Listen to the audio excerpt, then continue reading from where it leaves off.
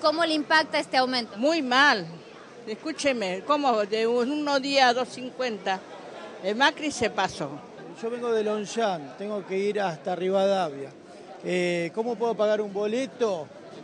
Eh, eh, dos pesos con 50 y si yo gano 2.500 pesos.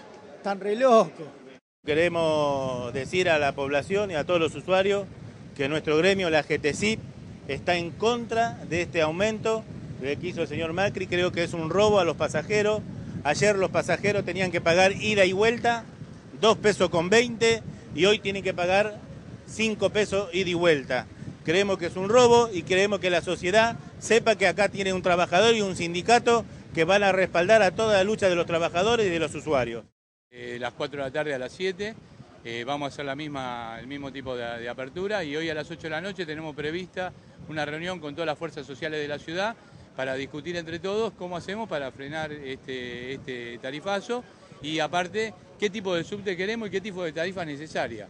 Nosotros queremos decirle ante todo al jefe de gobierno y a sus funcionarios que nosotros estamos dispuestos, como en el momento que ellos tomaron el subterráneo, a analizar entre todos qué tipo de red de subte necesitamos y qué tipo de tarifa se necesita con y quiénes son los que más necesitan el subsidio. Primeramente creemos que es muy arbitrario y sin consultar con nadie, primero. Segundo, creemos que lo hicieron mal de una forma.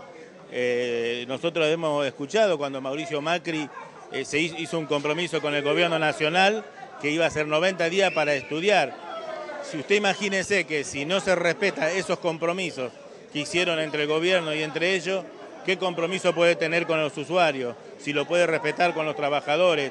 Y la gente no es que viaja al subte de, de, y lo único que viaja en el subte. La gente en general viene transbordando porque viene de trenes, viene de colectivos, colectivos que en muchos casos son interurbanos, salen mucho más plata. Entonces acá es un gasto real importante. Y el aumento impacta como a todas las personas, eh, pero esto lo que pasa es que a Macri no le importa, porque las personas que viajan no son de capital, no lo votan, son de la provincia de Buenos Aires. ¿De dónde viene?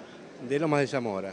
Me parece una barbaridad, me parece algo demasiado grosero, porque la gente generalmente se traslada en medio de transporte, es el medio de transporte más tomado por la gente. ¿Vos de dónde vienes? Yo vengo de Gleu. ¿Cuántos pasajes tienes? Tengo que tomar un colectivo, tengo que tomar un tren y que 2,50 me salga y no gano tampoco mucho, mucho dinero como para gastar 5 pesos diarios todos los días. Me parece una barbaridad.